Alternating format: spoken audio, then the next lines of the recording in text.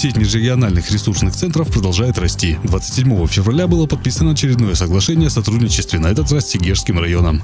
Стоит отметить, что к предстоящей работе присоединился Сигежский ЦБК, поэтому соглашение получилось даже трехсторонним. При сотрудничестве с нашим университетом будут решаться задачи социальной сферы, предпринимательства, кадрового потенциала и многое другое. Стороны будут решать такие проблемы, как удержание молодежи в районах, подготовка кадров и организация практики студентов.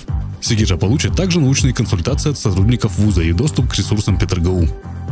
На этом череда подписаний не закончилась, и 2 марта к работе сети МРЦ присоединился Медвежьегорский район. Мы э, думаем, что сотрудничество с университетом будет плодотворно как с одной, так и с другой стороны по всем э, направлениям э, первоочередным, которые необходимо провести. В скором времени стороны начнут активно сотрудничать по одному или нескольким проектам. Перед поездкой делегация уже подготовила дорожную карту. У нашего университета есть разработанные сервисы для населения, а также множество ресурсов, которые можно использовать при взаимодействии. Это IT-парк, музей, стенд-центр и многое другое. Современные механизмы и активное сотрудничество сторон приведут к продуктивной работе и крепкой дружбе. Тем более, что среди сотрудников университета много уроженцев из этих мест. 28 февраля состоялась отчетно-выборная конференция председателя Объединенного совета обучающихся. Участники мероприятия выслушали отчет Алексея Штыкова, который являлся председателем с момента создания совета. За время руководства Алексея Сергеевича реализовано множество проектов, десятки крупных мероприятий и маленьких, но важных дел, таких как поддержка творческих коллективов и решение текущих вопросов, касающихся студенческих объединений. Отчитавшись, Алексей Штыков сложил полномочия, после чего открытым голосованием из двух кандидатов выбрали нового председателя совета. Им стал Александр Чернышев, студент четвертого курса Института биологии, экологии и агротехнологий. Особое внимание он будет уделять организационной работе, ежемесячные собрания коллективов, институтов и помощь администрации Петрогу в реализации программы развития опорного вуза. Стоит отметить, что Объединенный совет обучающихся является высшим управляющим органом университета со стороны студенчества. Молодежный инопарк выступил площадкой для заседания дискуссионного клуба. Просматриваемая тема – экстремизм в сети интернет.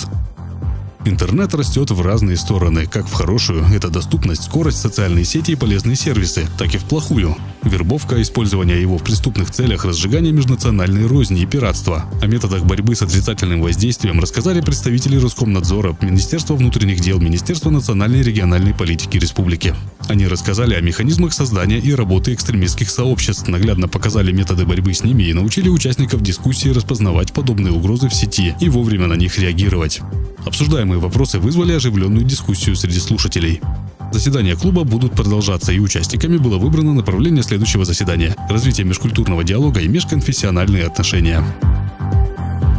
С 1 по 3 марта в Петрозаводске состоялся 7 международный конгресс учителей физической культуры. Участниками стали порядка 300 человек из 36 городов России, специалисты из Финляндии, Китая и Молдовы и около 100 студентов Петрогу. В этом году он прошел под девизом «Здоровье в школы». Поэтому темы круглых столов и мастер-классов были соответствующие. Школьный спорт, внедрение ГТО в образовательной организации, методическая копилка учителя физкультуры.